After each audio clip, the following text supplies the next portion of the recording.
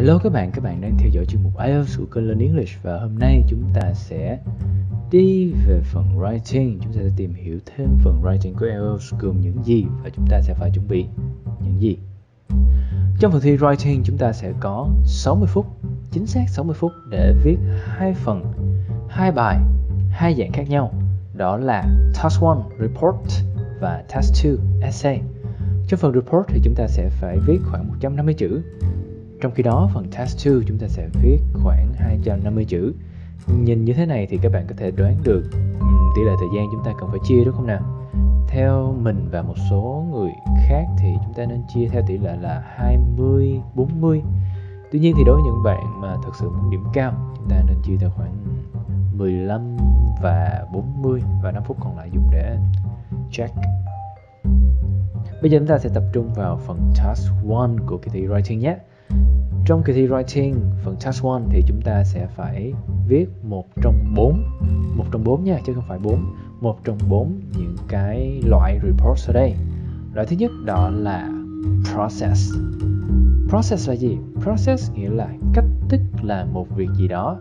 Ví dụ như chúng ta sẽ có cách thức làm trà, cách thức làm cà, hoặc cũng có thể là chương trình của một cái việc gì đó ví dụ như là chương trình của vòng tuần hoàn của nước chương trình sống của con ếch uhm, cách thức là một việc gì đó ví dụ như ờ, rửa hình chụp hình in hình.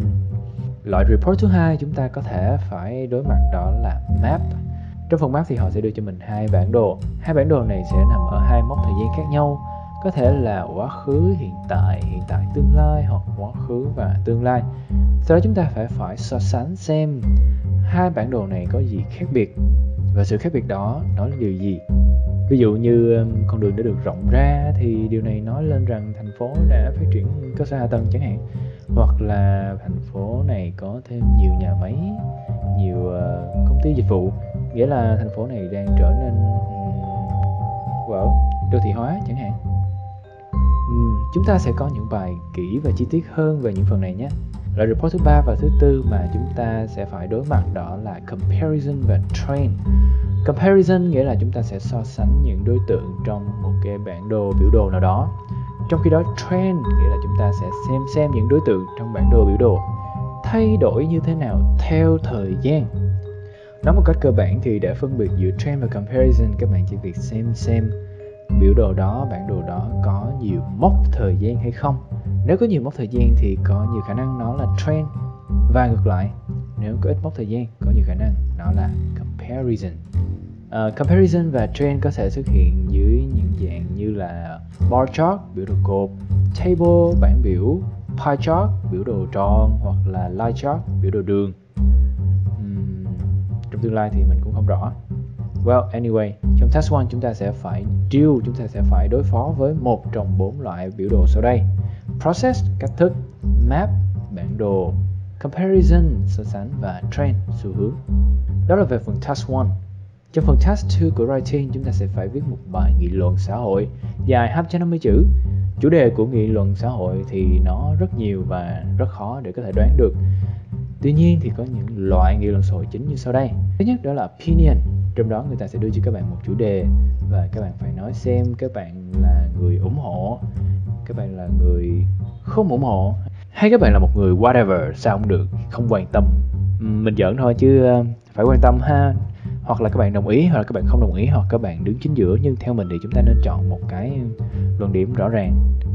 Hãy là một người có luận điểm rõ ràng, lập trường vững vàng để tránh bị sa ngã.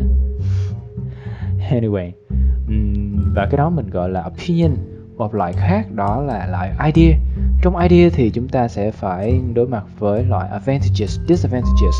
Nghĩa là um, người ta sẽ cho mình một chủ đề và các bạn nói xem chủ đề đó có nhiều lợi hơn hay có nhiều hại hơn. Hoặc chúng ta sẽ phải đối mặt với những cái gọi là problem và solution. Một của một chủ đề và chúng ta phải suy nghĩ xem chủ đề này sẽ mang lại những vấn đề gì và cùng với đó song song với đó sẽ có những giải pháp nào? Loại thứ ba đó là cause and effect. Cũng tương tự người ta cho mình một chủ đề các bạn phải suy nghĩ xem. Do đâu mà thứ này xuất hiện và sự xuất hiện của thứ này sẽ mang lại những hậu quả nào?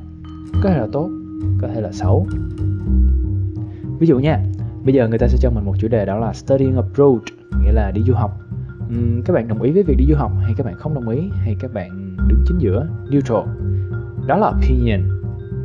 Cũng chủ đề setting approach, người ta hỏi các bạn hãy đưa ra những advantages, những disadvantages. Đó là loại idea. Cũng chủ đề study approach này, người ta hỏi study approach có những problem nào và có những solution nào cho vấn đề này. Đó cũng thuộc dạng idea. Và cuối cùng, do đâu mà study approach ngày càng rộng rãi và việc rộng rãi của study approach mang lại những effect nào? Có thể các bạn ghi tốt, có thể các bạn ghi xấu. Đó là phần idea vậy như các bạn có thể thấy, một chủ đề có thể xuất hiện ở nhiều dạng câu hỏi khác nhau. Cho nên thứ đầu tiên quan trọng nhất mà chúng ta cần xác định trong bài writing, không phải là dạng nào mà chúng ta nên xem xem chủ đề nó là gì.